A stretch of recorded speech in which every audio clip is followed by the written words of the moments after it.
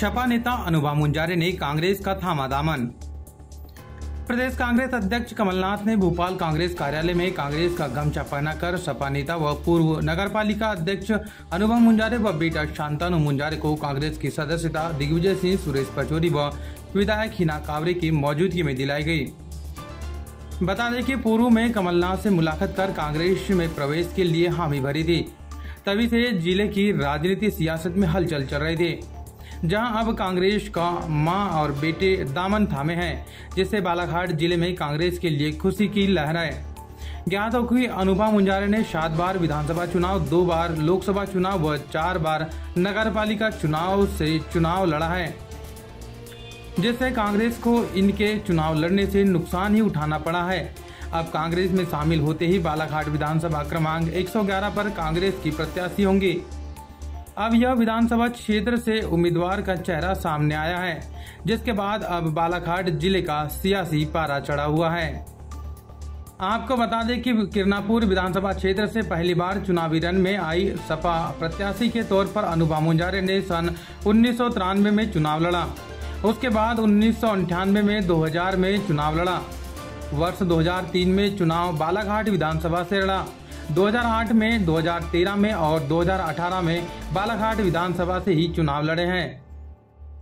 इसी तरह से बालाघाट सीट पर उनके चुनाव लड़ने से कांग्रेस को बड़ा नुकसान ही उठाना पड़ा है।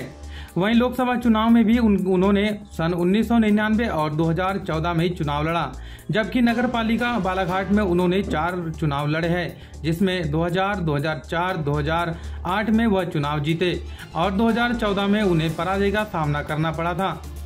इसी तरह उनका पूरा राजनीतिक यात्रा संघर्षपूर्ण रही है। ज़िले की महिला राजनीति में उनका पहचान एक प्रखर वक्ता के रूप में की जाती है। इसमें कोई संदेह नहीं है कि उनकी इस राजनीतिक उपलब्धि के पीछे पूर्व सांसद एवं पूर्व विधायक कंकर मुंजारे का प्रभावशाली व्यक्तित्व की महत्वपूर्ण भूमिका है। लोधी समाज के महिला राजनीति में श्रीमती अनुभव मुंजारे का स्थान प्रथम क्रम पर आता है। अनुभव मुंजारे जी के ज्वाइनिंग में। बहुत बहुत स्वागत है। हमारे प्रदेश के कांग्रेस कमेटी के अध्यक्ष आदरणीय कमलनाथ जी के नेतृत्व में आज अनुभव आंटी ने, शांतनु मुजारी जी ने दोनों ने कांग्रेस की सदस्यता ली है। हम बहुत इस बात की खुशी है हमको कि आगे आने वाले समय में जब मध्य प्रदेश में कांग्रेस की सरकार बनेगी तो अहम भूमिका आप लोगों की रहेगी, पार्टी को और पार्टी की सोच को आगे बढ़ाने वहीं 21 मई को भोपाल में आयोजित पूर्व प्रधानमंत्री राजीव गांधी की पुण्यतिथि कार्यक्रम में भोपाल पहुँची अनुपा मुंजारे ने कांग्रेस में शामिल होने के बाद कहा कि भले ही पूर्व प्रधानमंत्री राजीव गांधी को हमसे बिछड़े हुए बत्तीस साल हो गए हो, लेकिन आज भी उनकी विचारधारा प्रासंगिक है। उन्होंने राजीव गांधी को श्रद्धांजलि अर्पित करते हुए कहा कि वह हमेशा से ही कांग्रेस विचारधारा से जुड़ी रही है। कांग्रेस के साथ जन जन की आवाज़ को सड़क से लेकर सदन तक पहुँचाने का वह काम करेंगे। यहाँ उन्होंने जब तक सूरज चाँद रहेगा, कांग्रेस तेरा नाम रहेगा। जब तक सूरज चाँद रहेगा, राजीव जी का नाम रहेगा का भी नारा दिया। किया जाता है। हम सब उन्हें श्रद्धा से सुमन अर्पित करते हैं। अश्रु की पूरी श्रद्धांजलि अर्पित करते हैं। आज बत्तीस साल हो गए माननीय राजीव जी को हमारे बीच से गए, लेकिन फिर भी उनकी विचारधारा जो है चल रही है और चलती रहेगी जब तक ये सूरज चाँद रहेगा। कांग्रेस पार्टी का नाम रहेगा, जब तक सूरज चाँद रहेगा, राजीव जी का नाम रहेगा।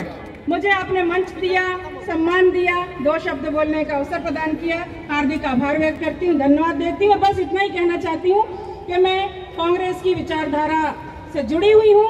और जन जन तक पहुँचाने के लिए सड़क से लेके सदन तक आपकी आवाज़ बनने की मैं पूरी कोशिश करूँगी। बहुत बहुत धन्यवाद। जय हिंद जय भारत। हमें दो